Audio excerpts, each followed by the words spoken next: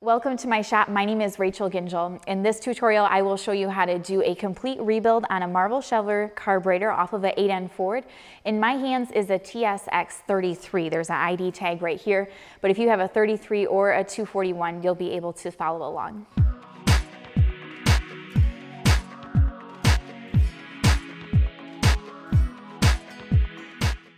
Behind me is an 8N Ford, but these carburetors are found on 8N, 9N, or 2N Ford tractors.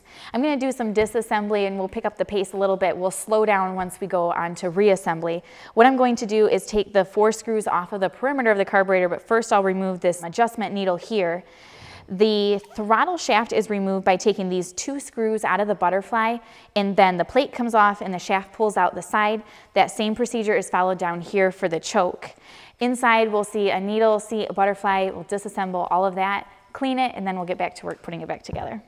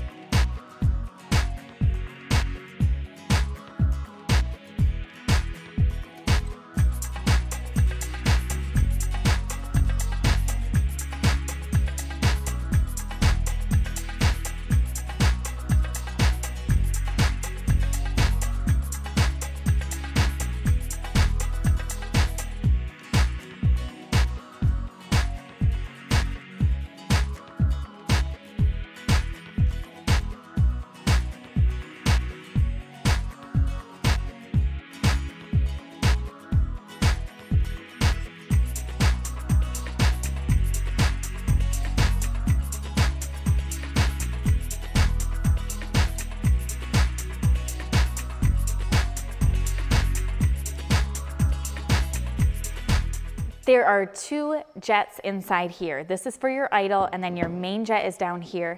These little jets are kind of hard to get out. They can be really tight. Um, these ones came out pretty easily for me. You can just use a small screwdriver in the lid there. And then for the bowl of your carburetor, you'll need a long screwdriver that has a small tip on it like this.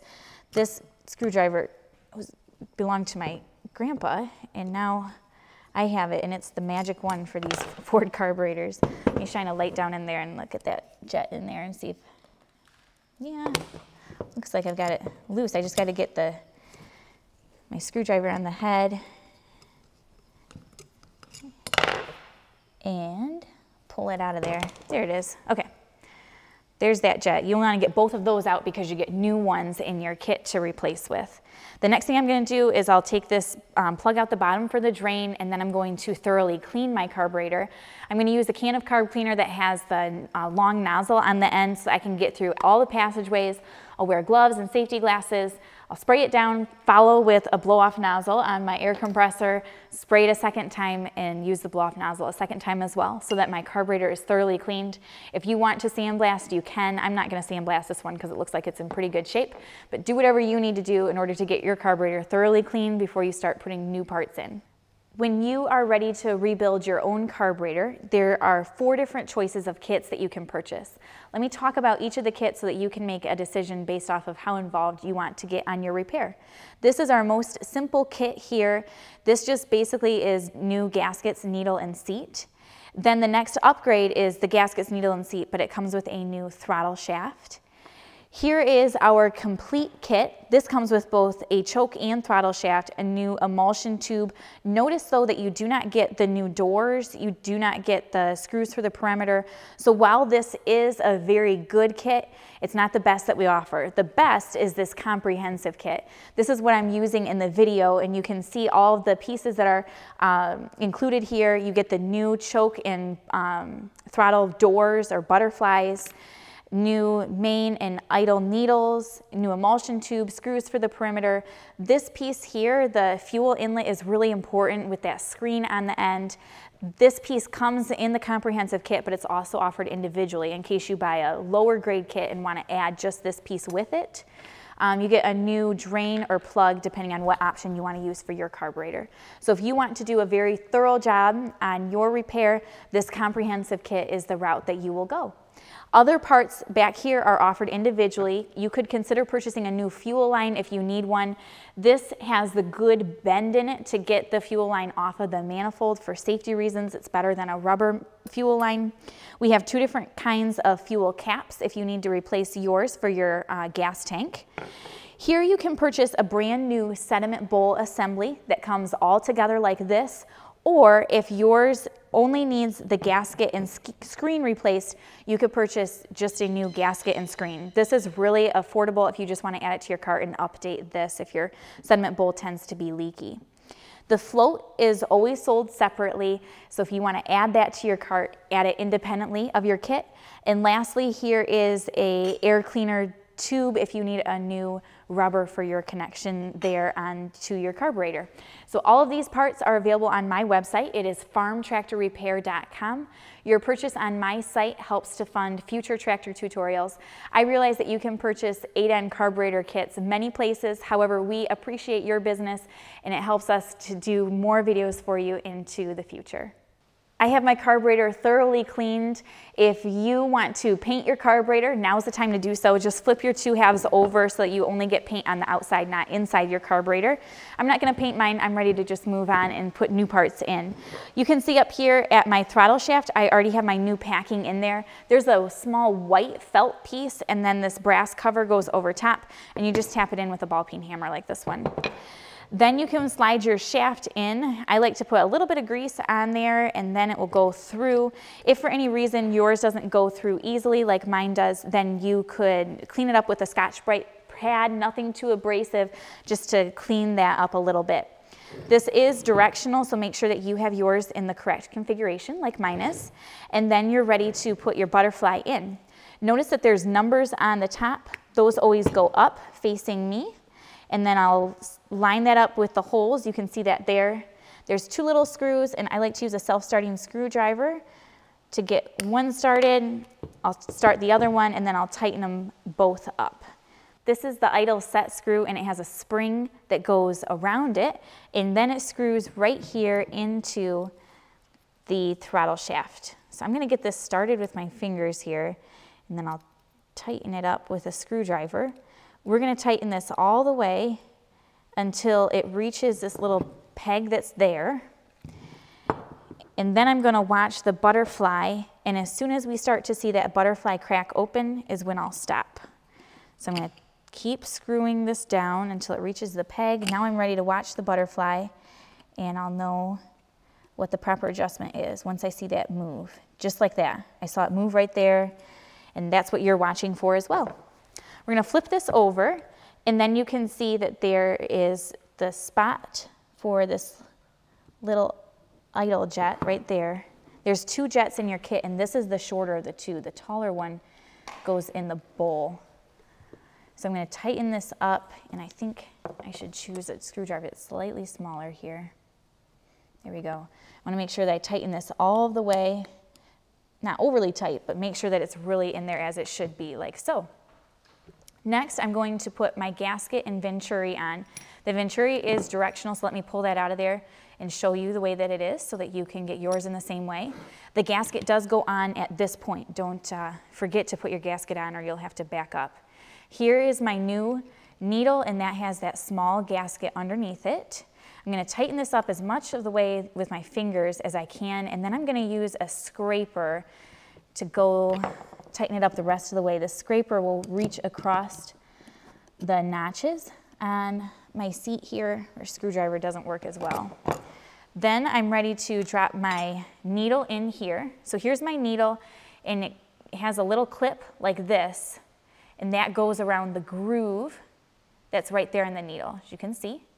And then this goes over top of the float so that it just kind of suspends the needle I drop it down into the seat, and then I have a float pin that slides all the way across. I'm gonna even that gap out there, just like that.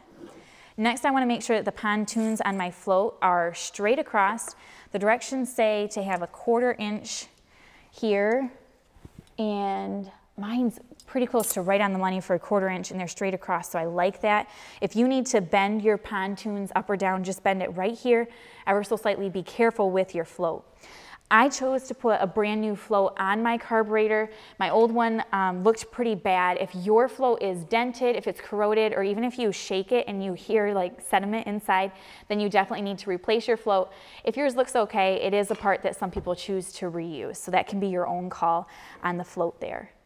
Next, I'm gonna put my passageway in the bottom of the bowl for my main jet. I'm gonna use this long screwdriver again. So let me drop that down in there first and take a look at it, make sure that I got it in there straight. Yes.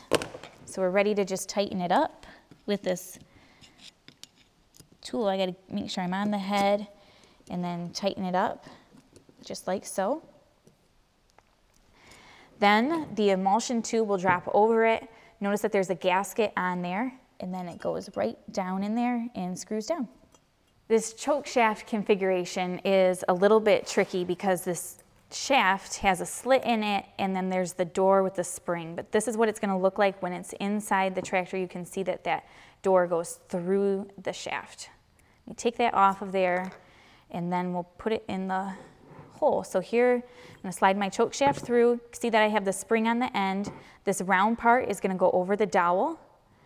And then I put this in line with the um, flat side of my um, shaft here, and then I slide this back towards me, just like that. And then you can see that this spot that has the groove rests on the dowel there. With that in place, then my choke is gonna operate as it should. Next thing I'm gonna do is slide this door in here. When I'm finished, this door where you see the spring and the flap will be outside of the carburetor. So let me drop this down in here, just making sure I got that going the right way. This is why I showed you the shaft outside, because it's hard. I gotta be able to see it instead of the camera. So you need to follow these steps for your own choke shaft be because if your tractor is starting hard, this choke door is gonna make a difference. I've seen this spring be broken and that will cause the tractor to not run as it should. So you can see I have my door in place there. That looks good. Then I have my little screws here on a self-starting screwdriver. So I'm gonna turn this up and put my screw in there. I'll get that side started and then I'll tighten it up. Once I have both of them started, then I'll go back and tighten them both up. For the bottom of your carburetor, your kit provides two options. This is a plug in my hand. The other option is a drain like this one. You can use whatever you prefer. I'm choosing to put the uh, plug in the bottom of mine. So I'm just gonna tighten this up all the way. I'm holding this because my emulsion tube is in the carburetor and I don't want to damage it. So with that tight, I'm ready to put my two halves together. See here that I have the, um, my float pin evened out so it's not gonna get hung up when I drop the bowl on. Notice that I set that on gently so I didn't damage the pontoons. Then I'm gonna flip this over and in the comprehensive kit I have new screws and washers for the perimeter of the carburetor. I'm going to start each one a little bit and then go back around and tighten them. Not tighten one, tighten the second one, etc. My main needle has a screw and a gasket on it, and then I'm ready to drop it down in there. I'm just using my fingers to tighten this up. Once it bottoms out, I will back out two full turns. That's the adjustment that we're gonna start with. We can make other fine tune adjustments when it's on the tractor. So that's one turn, that's two turns out. I'm gonna follow those same steps here with my idle screw, but this time I'll just come back out one turn after I bottom out. My fuel inlet is brand new with a clean screen on it and it's ready to go in. I'm gonna put a little bit of sealant on here first. This is um, gas and oil resistant, so it's a good choice for this application. I'm gonna get that started with my fingers. And then I'm gonna use a wrench here to tighten it up. I'm gonna put my wrench on the edge here, not on the middle to turn that around because in the middle it's not as strong. So I'm just gonna turn that at the edge until it's facing up and then I'll be ready to put it onto the tractor. My carburetor is onto the tractor. I made sure that all the remains of my old gasket were removed before I put it back together with a new gasket into place. I don't have my tube on here because I want to make sure that the carburetor doesn't leak. I'm just gonna start it up and make some fine tune adjustments. First, I'll test it on an idle, and if it needs an idle adjustment, I'll do that right here on this screw. That'll take the flutter out of the idle. Then I'm going to rev it up, make sure that it revs well. If it doesn't, I'll make an adjustment right here. So my tractor is in neutral. It's safe for me to start it right here. Okay, so this is an idle. I like how it's idling right now. Let me rev it up. I'm gonna turn that out just a little bit more.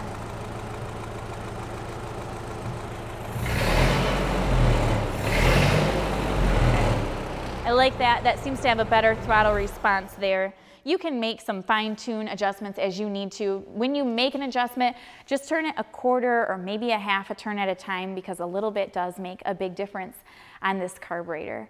I hope that this tutorial is helpful to you and that after watching it, you are ready to rebuild your own carburetor so that your 8N runs as nicely as mine does. Take a look on my channel. I have other videos on the N-Series Ford tractors that might be of benefit to you. Also, you can subscribe to my channel. There's a little button at the bottom where you can click to subscribe and you'll get a notification every time we release a new video. When you are ready to purchase parts, please do so on my website. It's farmtractorrepair.com. In addition to the Ford parts, we also have a nice selection of Ford licensed products for you to check out.